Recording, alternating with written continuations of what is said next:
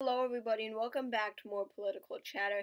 In this video, we will be talking about the breaking news that Nikki Haley, uh, the former governor of South Carolina who served in the Trump administration for two years as secretary to the United Nations, is running for president.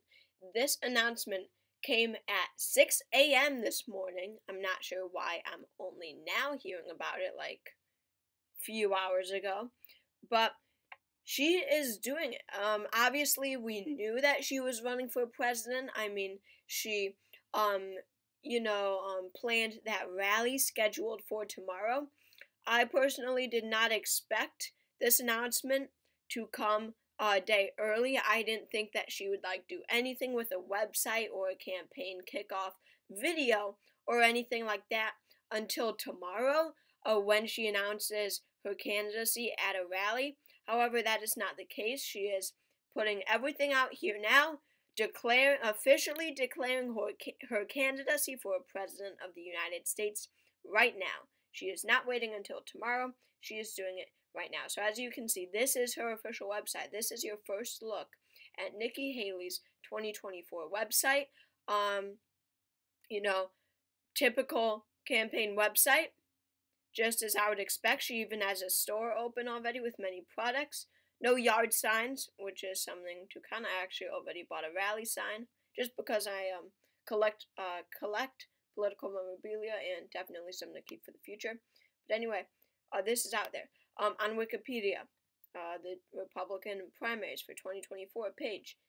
Finally, we got someone else besides Trump. Of course, we do have Trump. And then Nikki Haley has been added on here. Here's her logo. This is your first look at her logo. If you live in New Hampshire, um, or Iowa or uh, South Carolina, you'll probably be seeing this logo um, quite a few times in the you know years leading up to your primaries. Especially South Carolina, you might start seeing them like now, um, age 51.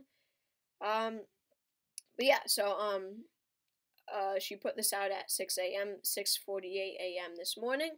Let's just take a look. I'm sure you guys I was the this. proud daughter of Indian immigrants. Not black, not white. I was different.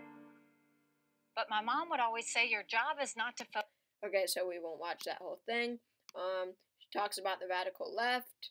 Um, and here's the important part. Oh God. No.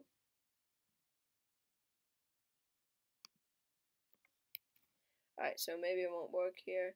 Um, but anyway, yeah, so she has declared her candidacy for president. Look in her description running for POTUS, running for president of the United States. So I just want to let you guys know this is official. I'm so excited to hear what she has to say at her rally tomorrow.